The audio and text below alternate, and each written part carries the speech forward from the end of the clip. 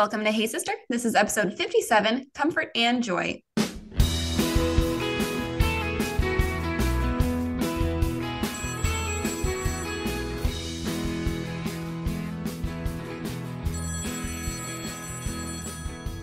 Hey, sister. Hey, sister. Join me, Courtney Lewis, And me, Carley Ferguson. in our conversational podcast about everyday situations. You can count on us to tell it to you straight with our own sisterly spin. Consider this a phone call with your own Southern sisters as we discuss with you personal accountability, healthy relationships, managing responsibilities, and contributing to society.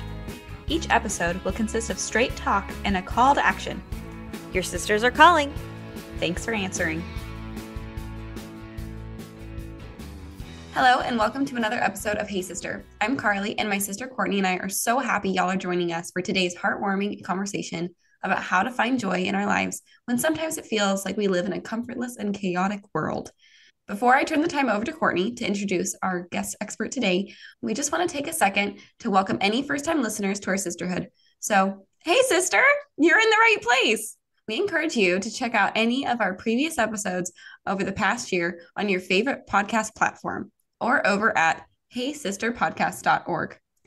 You can find resources, including websites or any social media links we share today, in our show notes, along with a minute marker timeline in case you want to re listen to a particular section of today's call. And of course, in our show notes, you'll also find a recap of our call to action that will be issued toward the end of this episode. Now, Courtney, take it away, sister. With pleasure. As y'all know, Carley and I are big fans of themes, and we have had a lot of fun coming up with various monthly themes over the past year.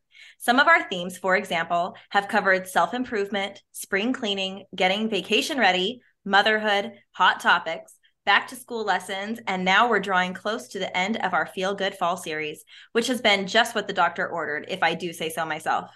In fact, the other day, I saw a visual representation of how this series makes me feel, and I just have to share it with y'all. It's November in Arizona, which means it is finally starting to feel like fall during the day with perfect 75 degree weather. But by night, it feels like full blown winter because we live in a dry climate. I like to relate it to the planet Mercury, which, because it is so close to the sun, can get up to 800 degrees Fahrenheit during the day, but at night can drop as low as negative 290 degrees Fahrenheit. You might think I'm exaggerating, but the other night, as I stood on the sideline watching my husband coach my son's soccer team, the Devil Penguins, by the way, how's that for a unique name? I witnessed every kid run up to practice shivering, bundled in coats and gloves and beanies. My phone said it was only 58 degrees, but the children's body language on the field made it look much colder. One mom, an Arizona native, strolled up with her three kids. One ran on the field to practice, one joined the gaggle of teammate siblings playing off to the side, and her littlest wanted to get bundled up in a camping chair. I watched as the sweet mama took the time to gently tuck this little toddler in. She already had on winter attire from head to toe, but now her mama made sure absolutely no cold night air would chill the body of her little one. By the end, I heard the mom ask, Are you good? There was a short pause, and the toddler replied, My cheeks are cold.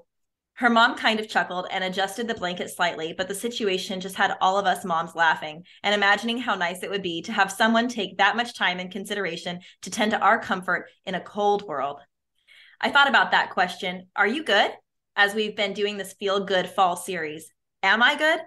Is it someone else's responsibility to tuck me in? Would I even let someone else tuck me in? Is there anything I can do or a mindset I can adopt to feel more comfort and joy on a cold night? The idea of a mindset that lends itself to joy is what led Carley and I to today's guest expert. Susan Chapman is a wildly creative, overly generous, faith filled mother of six kids who lives in Tucson, Arizona. She is a content creator with inspiring DIY projects on Instagram, where you can find her at Joy in Becoming. I am blessed to have Susan as a friend and positive influence in my life. She has a gift for making others feel valued, sharing her faith, and finding joy in becoming her best self. I love this woman dearly, and I'm so excited she is joining us today to bid our sisterhood tidings of comfort and joy. With all that, Susan, welcome to Hey Sister. Thank you. I'm like blushing over here. That was such a nice intro. Thank you. We're so glad you're here. As you well know, I could say so much more about you and the huge blessing you've been in my life and the wonderful friend you are. So thank you for joining us. Thank you for asking me. It's been a good reflective experience to think on why I love this topic so much because I am very passionate about this. And I wasn't always. And I think that's probably why I've become so passionate about it because this simple mind shift has just altered the trajectory forward where I'm not stuck in like a perfectionist mindset where I'm constantly unhappy. Susan, could you actually explain to our sisterhood a little bit more about yourself and your life and why this mindset is so important to you? I was a 19 year old bride, right? who had a honeymoon baby. So I went from childhood to adulthood in like the blink of an eye and with no real time to change, you know, like that maturing process. And so I would say the first 10 years of our marriage, I was constantly trying new things, creating something because I knew I needed creating for my own mental well being. And so I would take on these big projects, whether it was some craft I decided to do, or somebody at church asked me to do a party or a birthday party for my kids and I would hate the whole process. it would end in tears to the point that my husband would ask me, Why are you doing this? I'm all because I love it. And he's like, Do you? and I loved the finished product. So I loved the party once it was done. I loved the craft I had made. I loved the vacation we had planned when we were in it. But the process was miserable. And that reflection of him asking me, like, why are you doing this? Like, why am I doing this? Why am I putting myself through constant heartache and struggle and hating every minute of it? And I feel like God talks to me through everyday experiences. It felt like he looked at me and he's like, Do you see this? Do you see the parallel here? You're just enduring life. You're not finding joy out of it because you're waiting till the end to find joy. You're waiting till your kids are older or you've accomplished this thing. You're not enjoying the process that life is meant to be enjoyed. It's not just meant to be endured. And so that mind shift was like, ah, to me.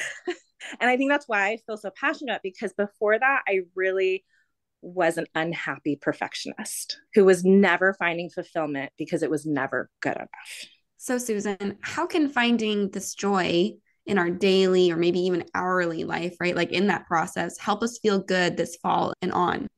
I think it's becoming very intentional. So, I don't like making dinner. like it's not my favorite thing. And I think we all have those little tasks that we're like, this is not fun and taking this kind of mindset of like well what can i do to make this a more enjoyable process? Okay i asked my boys they're now old enough to come and help me. So now this is time for them to tell me about their day. And i love being with them. So it's okay what can i do every day to have a glimpse or a moment that is uplifting or joyful? And life is really hard. I was having a conversation with some of my friends, and it was that like life is really hard for everyone. And it's also absolutely beautiful for everyone. And I remember my mom when I went off to college, and her sage advice to me was, You're going to find what you're looking for.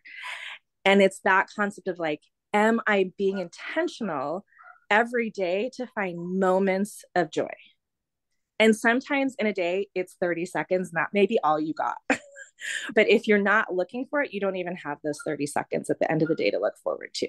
You're just enduring.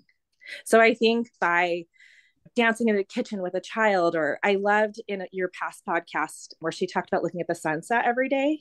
I can't remember who it was, but I love yeah, that was Aubrey Grossen. Yeah, where she was like, Oh, I love this looking for the sunset. I know in that moment, I'm going to just take this 30 seconds to appreciate something in my life. And I think that little shift can help when it is really hard. So I didn't say this in the intro, but I am a widow. My husband passed away maybe 15 months ago. And there have been heart wrenching moments. I mean, as you would imagine, but there have also been beautiful moments that I would not have if I wasn't a widow. I feel as though the Lord has guided me to have my eyes more open before he passed so that once he passed i could still go forward with my eyes wide open so i could say like this beautiful moment is going to have to carry me through some of these really hard moments and with that same idea of everyone has hard and we always get through it. That has helped as well. And I think that can help in those difficult moments of, I won't always be here. This moment is really hard, and that's okay. And give yourself that grace and that freedom to feel that hard and know it'll get better. Yeah.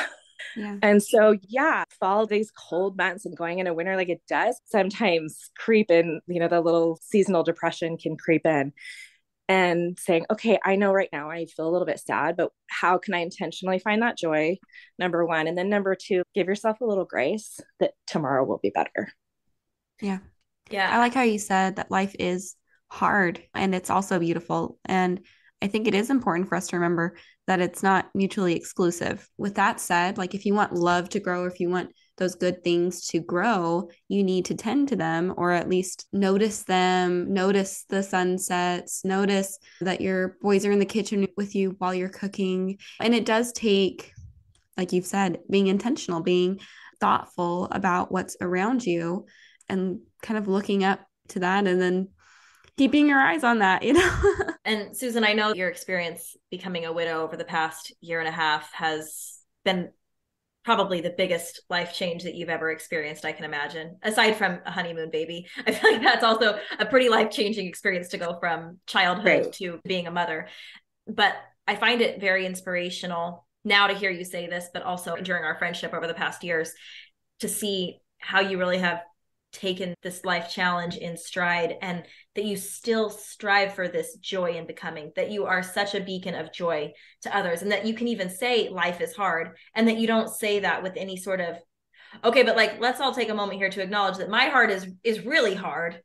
Sure. You know and so i appreciate that you give us all permission to groan a little bit and grumble but also to remind everyone if i can find joy so can you. And I know you don't say it with that attitude of if I can do it, you can do it. But can I just say, I find that really motivational to me that during a year and a half that you've experienced hard loss, that you're still able to move forward and onward and be a wonderful mother and friend and also still a wife as i know that this week was a 25th year anniversary for you and ryan so i right. i'm grateful for your example and joy I think too, just as like everyone has hard and everyone has beautiful, another great momism from my mom is there is always someone who has it better than you, and there's always someone who has it worse than you. Right. So don't negate your hard, but also don't take away from your joy because someone else has it better. Allow yourself to lean into that joy. Don't feel guilty because you have something more than someone else or because you feel happy do you know I mean? Like lean into those moments because yes, someone has more and someone has less. And in both situations, they have the ability to find joy and hardship. And so lean into the joyful moments and really seek for them. Because sometimes in like the hard, they don't come naturally. And some right. people, they come much more naturally than others. Marjorie Hinckley, to me, is the prime example of optimism and finding joy. I just think she's a happy person by nature. And she came across me as someone who just like exudes joy. And then there are other people who's like, we have to search for it because it isn't just naturally on our shoulder. I appreciate you saying that too, because in this world that we don't necessarily want to compare ourselves to others, the natural human tendency is to recognize your joys versus somebody else's joys, your struggles versus somebody else's struggles. So I love that you're saying what your mom said of somebody's always going to have it harder and somebody's always going to have it easier or better than you. However your mom said it, I appreciate that because I think that's true and it's okay to acknowledge that, but also not let that be an all-consuming thought. So right. how do you find joy in your life, Susan? Now, like what is your formula to find joy? I mean, I would say number 1 is letting go of perfection. Celebrating the failures, which is also something I would say over the past five years I've leaned into. That failure is a teaching tool, and how awesome that I just learned how not to do that. And so I think that's been a really big one so that I'm willing to try new things and I'm willing to just experiment. Even as a young child, creating has been essential part of who I am. It is my lifeline where I feel like when I'm creating, God speaks to me. My mind goes quiet. I can hear him. I can hear peace. I can think clearer. So, like, I have to be creating in some form, especially when life is hard. That takes many forms for me. like I love DIY projects, but it also can be creating an experience with my kids or creating relationships, creating time for study, creating in writing. Like for me, it takes many forms, but ultimately it's some form of creating brings me the greatest clarity, which helps me find space for joy. So you're saying creating brings joy. And like you were saying earlier in your marriage, that your husband would be like, Does it bring you joy? Because during the process, it was right. more stressful and you weren't finding those moments of stillness. So that's something that you've clearly practiced to get to that point of it bringing you that fulfillment during the process. Because it did not used to.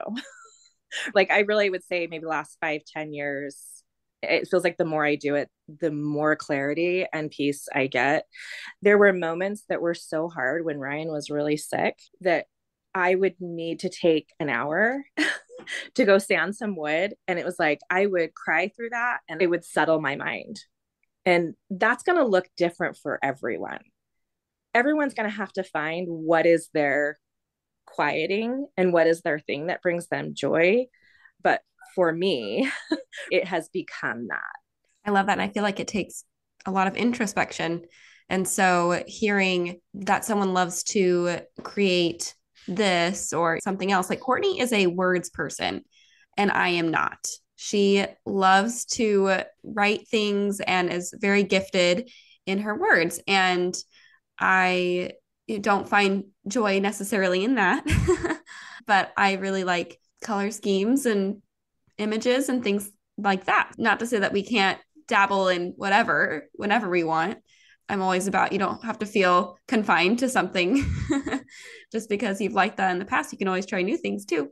But it is important to reflect on yourself and take that time to be intentional about what you want to do and what you want to gain from doing that. Was there anything else on your uh, how do you find joy list that you'd like to share with us, Susan?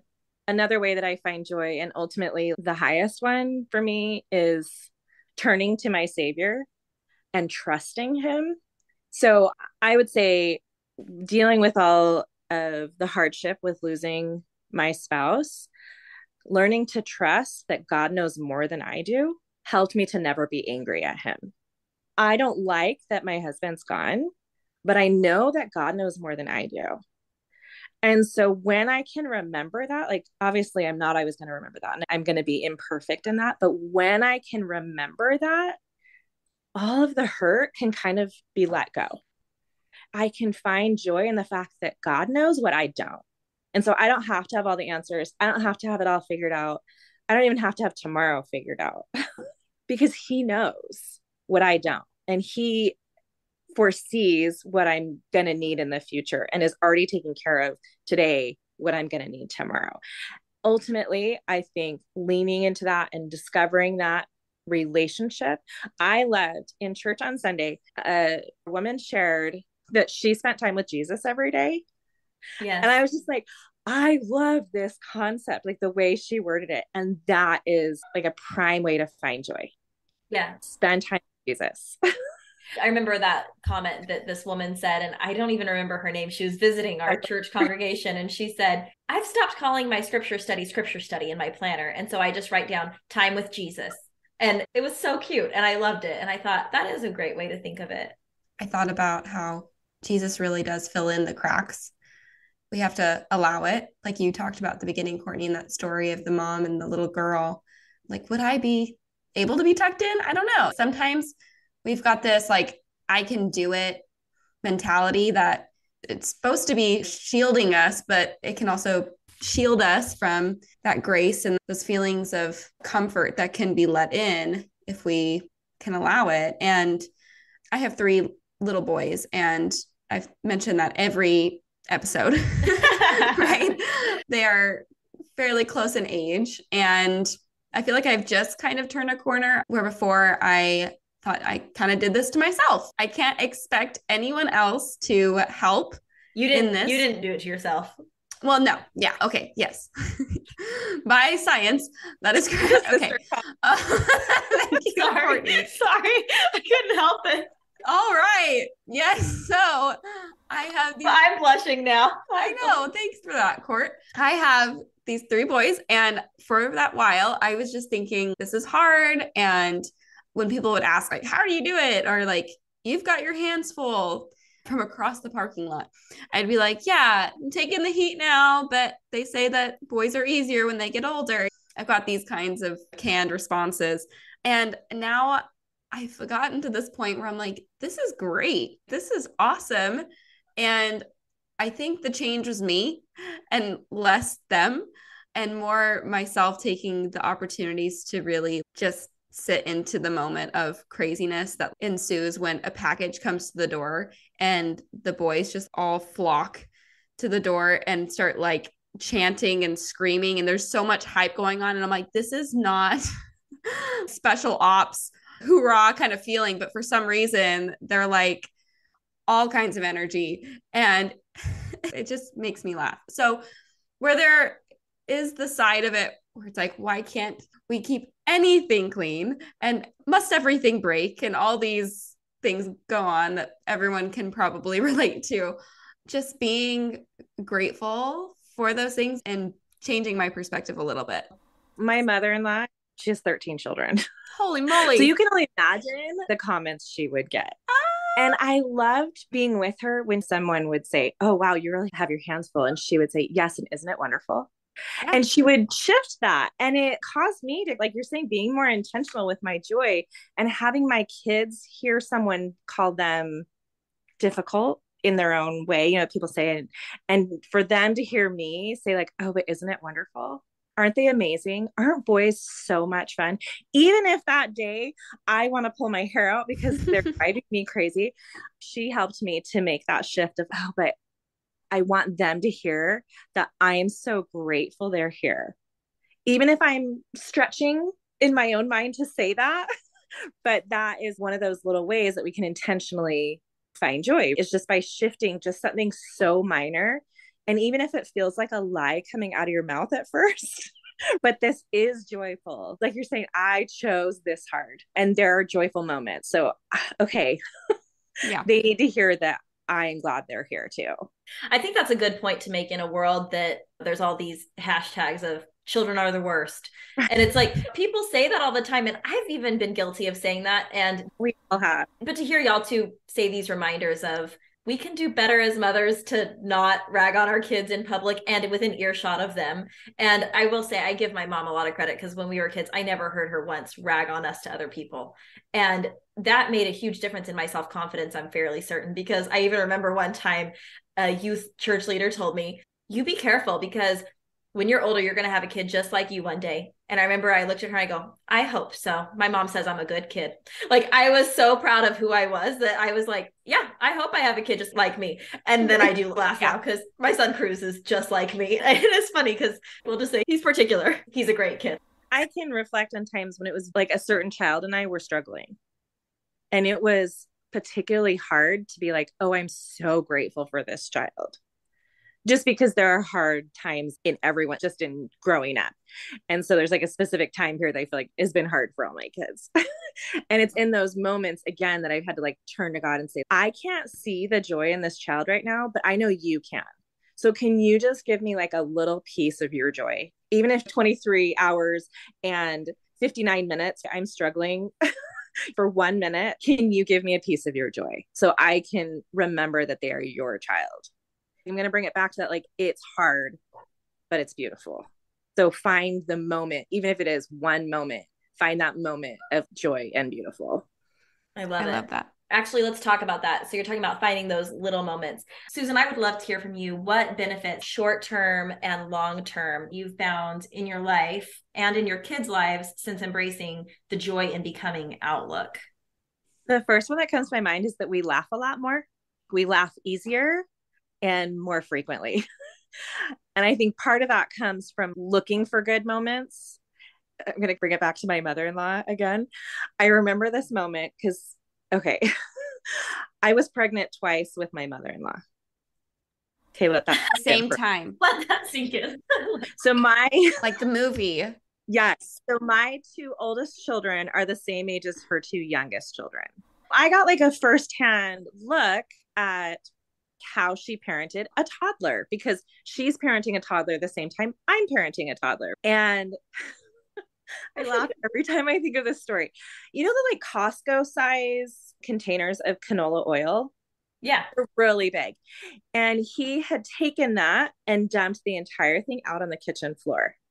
Oh. I'm like a first time mom. Oh. I we both come in and see us. I'm so stressed out, right? Like thinking about that, I saw you guys both go, right? Yeah. Wait, wait. Was it her son or your son? It was her son. Okay. And so she got out the camera and she took a picture and laughed because she was just like, I just learned long time ago that if I took a picture of it, it seemed funnier. And then I could just let it go and we could move on. And I remember her laughing at her teenagers before I had teenagers. And I'm like, but they're so naughty. And now I'm like, oh my gosh, teenagers are fantastic. She really did model that for me of like how to just laugh more by looking for the joy, being intentional and finding the joy. So that's like a really small benefit, I feel like, to being intentional. I would say a more long term one is that my kids are learning that failure is a beautiful thing failure it's like oh my gosh you failed but what did you learn from it? Like now okay what is the tool that you've learned that maybe you didn't know before? Okay you learned how not to do that. Or you learned that maybe you have to shoot the basket five times before making a shot but on the sixth one you always make a shot. And so i'm hoping that that's instilling in them ice shift in okay let's look for the good in this. How did you learn? How did you become better by that failure I think the long term is that life is hard for everyone. Kind of how I said that earlier life is hard and it's beautiful. And so give people more grace and allow them to fail as well and allow them to figure it out. And then you can have greater joy because you're no longer having harshness towards others. Like you're not upset with others because you're giving them the grace to figure it out, just like you are trying to figure it out. Now I say all this and I recognize we fail at this too. yeah. This is a learning curve for us, but this is what we're striving for. My older children, I'm like, sorry, you were my guinea pig kids. But I feel like I expected too much from them because my perfectionistic nature wanted them to also achieve perfection. Like, oh, it wasn't quite good enough. And then learning like oh my gosh you just tried. I love that you just tried something totally different. And okay you weren't great at it but did you enjoy it? Did you learn from it? Just that shift that i'm hoping my kids recognize failure is a beautiful thing. Awesome. So susan what is one doable call to action our sisterhood can incorporate this week I love that you asked this because this is something I'm going to work on too. And I think it is finding beauty in something you ordinarily wouldn't find beauty in. And that really could be the child you're struggling with, a task that seems daunting and not good enough, a relationship that isn't what you want it to be, something you're learning how to do. Take the moment to be like, okay, what is the beauty in this? It can be 30 seconds. But every day this week, every single day, take 30 seconds to find joy in something you wouldn't typically find joy in.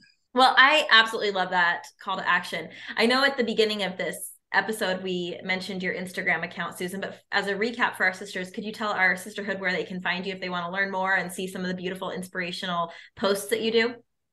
Yeah, joy in becoming. Awesome. And Susan, I think this would be a great time for us to tell our sisterhood about a next thing that we'll be seeing from you soon. So could you talk a little bit about your upcoming exciting news? Yes, as you can tell, I'm clearly passionate about joy and becoming or finding joy in the process of life. So I am working on a podcast to address these issues. How do we find joy when? And hitting on all the things that are just really hard. And how do we take the time and dig in and lean into that joy, even when it feels unbearable or even when it feels especially difficult? And the hope is to give women joy and hope that when we're stuck in those moments, we will be able to get out of it and there is a path forward. Perfect. Thank you for sharing that. So, sisters, we will be sure to include links to Susan's Instagram handle at Joy in Becoming. And when her podcast is live, we'll definitely feature that on Instagram as well. And we'll update the show notes for this episode when that is live so that you can find the link to her podcast so you can learn more from Susan there. We are so grateful that you've joined us today, Susan. Sisters, we hope y'all have enjoyed today's call with our new sister, Susan from Joy in Becoming as much as we have. We are so grateful for the time we get to spend with y'all each week, and we love connecting with you on social media too. So please be sure to follow us on Instagram at the Hey Sister Podcast to connect with us as we continue conversations about today's episode online. Don't forget to apply this week's call to action. And as a recap, that is to find joy every single day in something that you wouldn't ordinarily find joy in. Please come back and join us next week as we conclude our Feel Good Fall series. We'll talk to y'all next week, sisters. Bye-bye. Bye.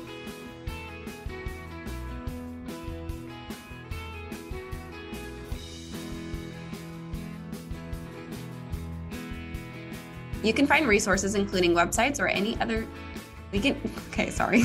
Mouthful today. I know i gave you a lot of announcements you know you did. Courtney writes my script for me. It's really nice.